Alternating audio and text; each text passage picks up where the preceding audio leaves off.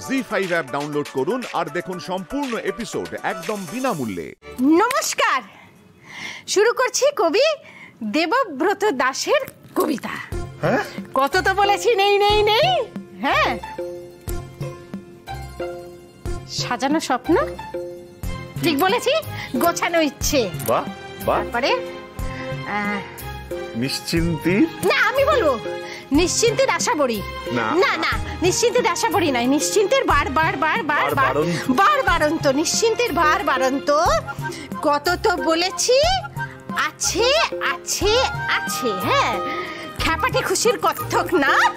আর কি একটা আশা বড়ি জানাবে? সেটাই বারবার মনে করার চেষ্টা করছি কি একটা? বোকা স্বপ্নের আশা। আহ, তুমি কেন বলে দিচ্ছ? আমি তো পারি না কবিতা বলতে।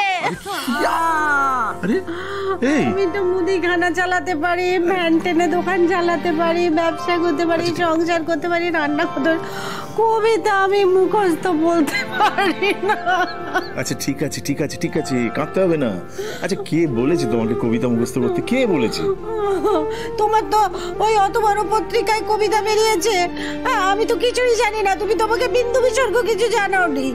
কি করে জানাব বলো? আমি তো জানাতে চাই তোমাকে। না মানে তোমার এ ব্যাপারে কোনো আগ্রহ না থাকলেও আমি তো জানাই বলো হ্যাঁ? কিন্তু তুমি তোমার ওই পরমেশ্বরীকে নিয়ে আমার পরমেশ্বরী নয় বাড়ির সবার পরমেশ্বরী। আচ্ছা ঠিক আছে বাড়ির সবার পরমেশ্বরী হ্যাঁ? তা তুমি সেই পরমেশ্বরীকে নিয়ে ব্যস্ত ছিলে তাই আর জানানো হয়নি। আমি যতই ব্যস্ত থাকি না কেন? আচ্ছা তা বলে তুমি জানাবে না আমাকে? হ্যাঁ যে তোমার কবিতা ছেপেছে পত্রিকায় তুমি আগে বিনুনিকে জানিয়ে দেবে?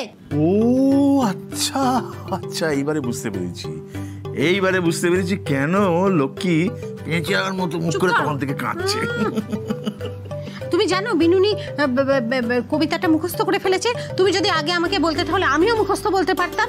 আচ্ছা তোমা তুমি তো আমাকে কি সুন্দর কবিতাটা কি সুন্দর মানে নিচে নিচে শোনালে। পারিনি। ও ও নাকি কবিতাটা কি করেছে? আত্মস্থ করেছে। ও আচ্ছা। আত্মস্থ করেছে বাড়িতে নিয়ে গিয়ে তোমাকে শোনাবে বলে। কি?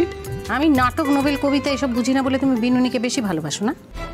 এই এই তোমার কি মাথা টাথা খারাপ হয়ে গেছে নাকি লক্ষ্মী হ্যাঁ? এসব ভালোবাসা টালোবাসা আসছে কোথেকে না না না না এটা ঠিক না একদম ঠিক না। এ আবার কি কথা? হচ্ছিল একটা মজার কথা। তোমরা তো শুধু ভালোবাসায় আটকে নেই সেটা তো একদম আদরে পৌঁছে গেছি। আদর এসব কি আজে বাজে কথা বলছিল? কি সাবধান খুব সাবধান। তুমি বাজে কথা বকো না। ওই তো তোমাকে কবিতা শোনানোর নাম করে মাঝে মধ্যে বাড়িতে নিয়ে যায় নিয়ে গিয়ে চা খাইয়ে তোমাকে কবিতা শোনায়।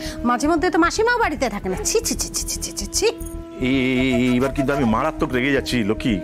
খুব খারাপ হচ্ছে এটা এইসব কি বাট অদ্ভুত কথা। না এবার তো তোমাকে সত্যি সত্যি মানসিক রোগের ডাক্তার দেখাতে হবে হ্যাঁ আমাকে মানসিক রোগের ডাক্তার দেখালে পাগল প্রতিপন্ন করতে পারলে তোমার আর বিনুনির লাইন ক্লিয়ার হয়ে যায় না? Line clear? দেশের কথা বলে।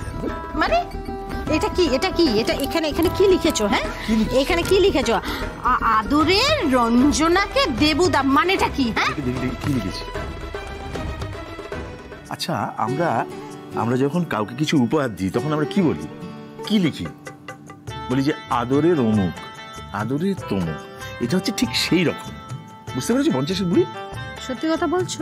ওই দেখো সত্যি মানে তুমি কোনোদিন ওর গায়েটায় হাত দিয়ে আদর করনি তো? জি ফাইভ ডাউনলোড করুন আর সব এপিসোড দেখুন একদম ফ্রি।